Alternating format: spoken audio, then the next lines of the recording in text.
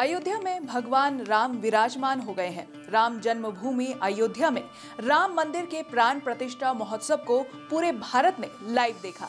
प्राण प्रतिष्ठा के मौके पर दूसरे राज्यों में भी रैलियों, कीर्तनों और लंगरों का आयोजन किया गया। नोएडा भी राम के रंग में रंगा दिखा।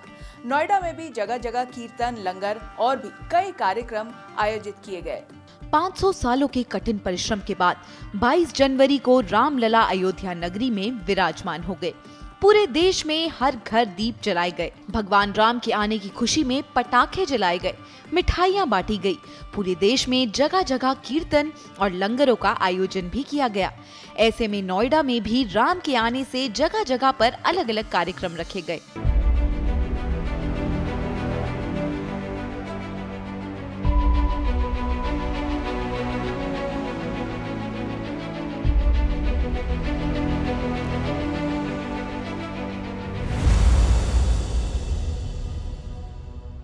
भगवान रामलला की प्राण प्रतिष्ठा के आयोजन में रामलीला कमेटी के मेंबरों ने भी रामलीला मैदान में भव्य कार्यक्रम का आयोजन किया। बैंड बाजे के साथ राम भक्तों ने जमकर खुशी मनाई। बच्चों, महिलाओं ने भी खूब उत्साह के साथ जय श्री राम के नारे लगाए। गीत भी गाए गए। बड़ी स्क्रीन लगाकर लोगों को अयोध्या से हो रही प्राण प्रतिष्ठा का सीधा प्रसारण लोगों को दिखाया गया। राम जन्मभूमि अयोध्या में राम मंदिर के प्राण प्रतिष्ठा महोत्सव का आयोजन किया गया। इस ऐतिहासिक और धार्मिक अवसर पर जेवर विधायक धीरेन्द्र सिंह ने विधानसभा के विभिन्न क्षेत्रों में राम यात्रा आयोजन करवाया। धीरेन्द्र सिंह ने राम मंदिर की प्राण प्रतिष्ठा के मौके पर शहर की साफ़ सफ़ाई रखने में सबसे बड़ा योगदान देने वाले लोगों को शॉल देकर सम्मानित किया। उन्होंने क्षेत्र के मंदिरों को चारों ओर से और गलियों को साफ़ रखा।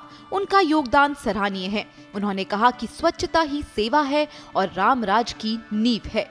धीरेन्द्र सिंह ने कहा कि राम नाम ही शक्ति है। राम नाम ही शांति है, राम नाम ही भक्ति है। रात होते होते नोएडा के मंदिरों में भव्य रूप देखने को मिला। मंदिरों में हज़ारों की संख्या में भीड़ देखने को मिली।